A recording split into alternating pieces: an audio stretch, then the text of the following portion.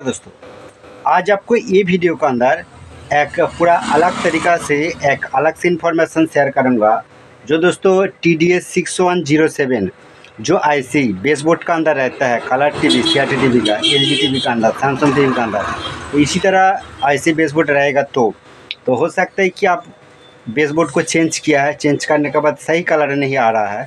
और आपको मन में लग रहा है कि इसका पिक्चर ट्यूब फॉल्ट है, कि मेन ऐसे प्रोसेसर ऐसी ख़राब है।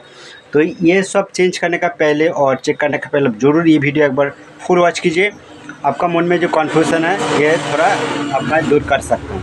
क्योंकि दोस्तों, ये आई का जो data sheet T D six one zero seven J जो आईसी है, इसका जो डाटा सीट है। तो दोस्तों गूगल के अंदर हर जगह पर सही इन्फॉर्मेशन नहीं देखा जाता है।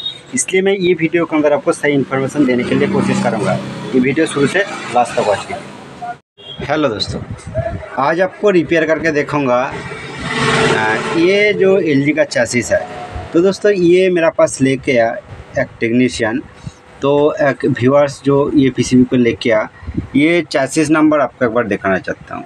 ये स्टिकर नीचे ये चैसिस नंबर लिखा है। देखिए C P seventy nine B ठीक है? C P seventy nine B ये चैसिस नंबर है। और ये चैसिस का अंदर वो जो काम किया एक्चुअली ये बेस बोर्ड का अंदर काम किया। अब देख सकते हो, इसका बेस बोर्ड वो अलग सा लगाया न्यू बेस बोर्ड लगाया और ये आईसी बेस बोर्ड लगाया।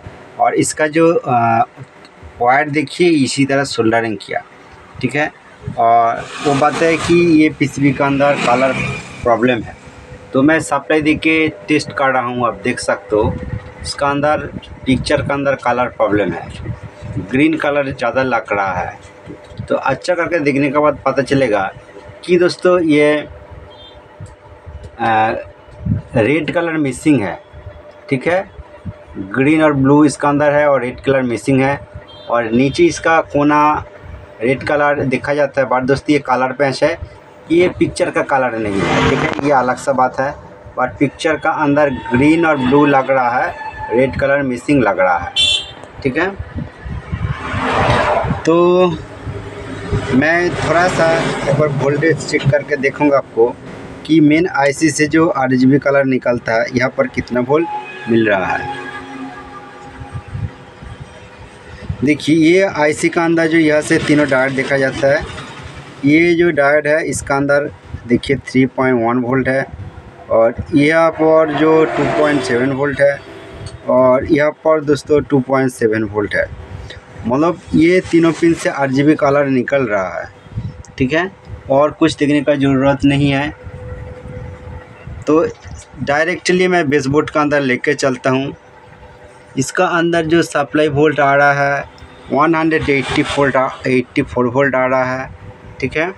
और ये जो कलर प्रॉब्लम है फेस बुट का अंदर जो वोल्टेज अभी शो हो रहा है, एक पिन का अंदर 148 का आसपास शो 48 का आसपास शो हो रहा है। और ये दो फिलामेंट का, और दोस्तों ये कैथोड पिन है। इसका अंदर 142 ये भी शो हो रहा है इसी तरह आसपास। और दोस्तों ये G2 का पिन है, उसका बाद ये G2 का नीचे। ये जो कलर पिन है, इसका अंदर 110 वोल्ट सिक्स वोल्ट इसी तरह वोल्टेज शो हो रहा है, ठीक है? तो ये वोल्टेज देखने के बाद अब पता नहीं कर सकते तो क्या देखना पड़ेगा इसका अंदर? चलिए मैं सप्लाई ऑफ़ कर देता हूँ। ऑफ़ करने के बाद मैं देखूँगा कि ये जो वायरिंग है, ठीक है? इसका जो आठ जी सिग्नल को जिस पिन पर मैं कनेक्शन वो कनेक्शन किया, वो लाइन को अच्छा करके देखना पड़ेगा, ठीक है? उसका पहले ये आईसी का आठ पिन, जो सिग्नल पिन, वो कौन सा है, वो आपको आइडेंटिफाई करना पड़ेगा। उसका बाद ये जो तीनों डायट है, ये तीनों डायट का अंदर कौन सा आठ सिग्नल आउटपुट होता है, ठीक है? ये भी आपको आइडेंटिफाई करना पड़ेगा। तो दोस्तों, ये जो तीनों डायट है, ये जो तीनों लाइन है और ये जो तीनों रेजिस्टेंस है, ये तीनों रेजिस्टेंस से ये आईसी का पास आता है। आईसी का ये पिन का अंदर भी आठ लिखा हो सकता है, ठीक है? आठ जी लिखा देखेगा तो आप आठ जी पिन को आइडेंटिफाई कर सकते हो। नहीं तो आपको ये आईसी नंबर देख के गूगल का अंदर इसका डाटा सीट आपको निकलना पड़ेगा।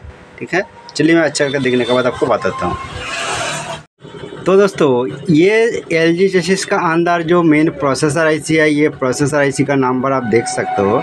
T D A one two one three five P S by N three by three by M B five ठीक है?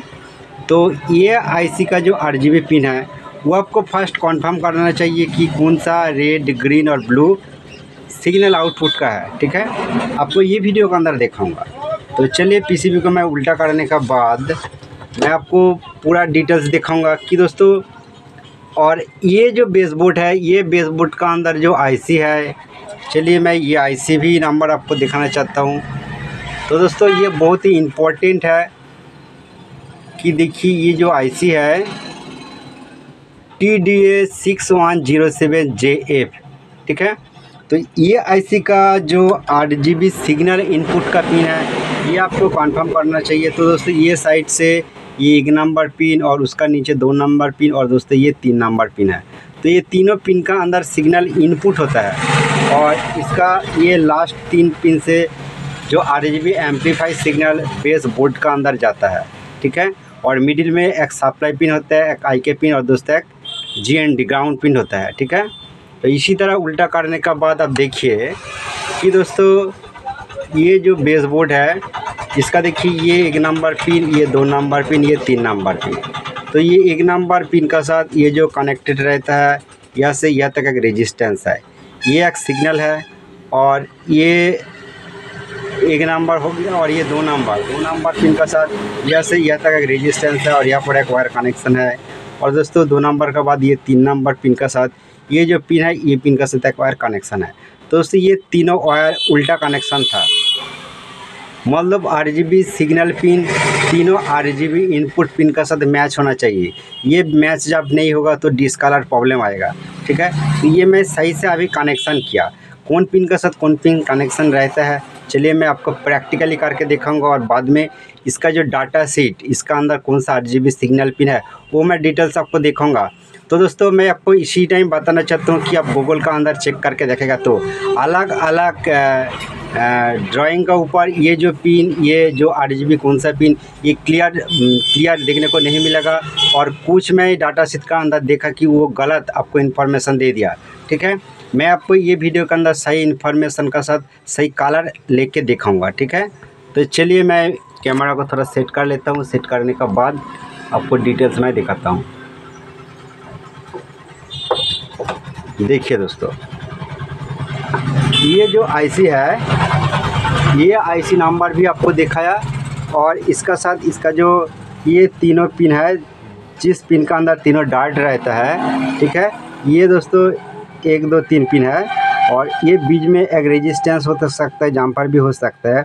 और ये जो लेफ़्ट साइड ठीक है, ये लेफ़्ट साइड का जो डार्ट है, ये लेफ़्ट साइड से जो लाइन जा रहा है, ये दोस्तों रेड सिग्नल आउटपुट का। मैं यहाँ पर रेड लिख दिया, ठीक है? उसका बाद जो पिन है वो ग्रीन सिग्नल आउटपुट का, मैं जी लिख दिया। और उसका बाद दोस्तों जो पिन है वो बी सिग्नल आउटपुट का, ठीक है? तो ये ऐसी पिन तो मैं आपको बता दिया सबसे इम्पोर्टेंट जो है ये बेसबोर्ड है। ठीक है ये आईसी का बेसबोर्ड के अंदर एक नंबर पिन का साथ कौन सा मैं कनेक्शन किया? चलिए मैं ये आर सिग्नल